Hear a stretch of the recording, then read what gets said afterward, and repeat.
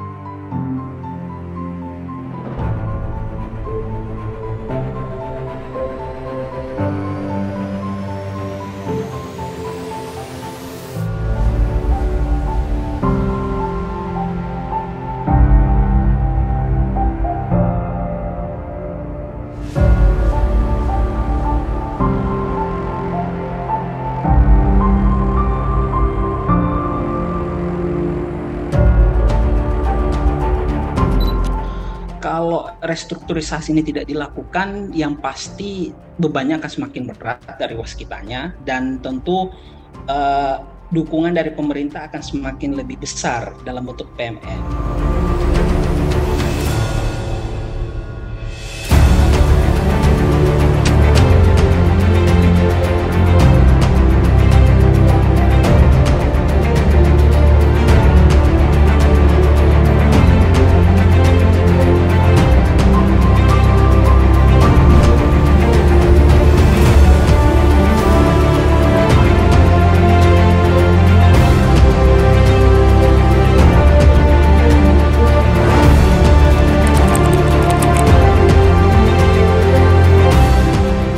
Pastinya kita tahu lah bahwa BUMN ini kan selalu menjadi garda terdepan untuk pembangunan-pembangunan infrastruktur yang dilakukan oleh pemerintah.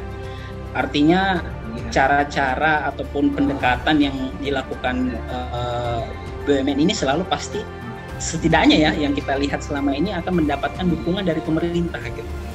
Jadi uh, apa pun apa seberapa besar beratnya proyek yang kemudian akan ditanggung gitu pasti tetap akan jalan gitu. Karena itu tadi ada dukungan dari pemerintah meskipun kita tidak ingin berspekulasi bahwa was kita ini menjadi spesial gitu ya tetapi betul bahwa ada uh, resiko-resiko yang sebenarnya itu tadi tidak secara hitung-hitungan harusnya sih menjadi tidak mendapatkan restrukturisasi. Laporan keuangan ya kita tahu sendiri bahwa laporan keuangannya memang belum membaik sampai sekarang. Sulit untuk tidak um, apa ya mengatakan bahwa itu tadi ada semacam kado spesial ya untuk uh, waskita karya untuk pemberian uh, restrukturisasi ini.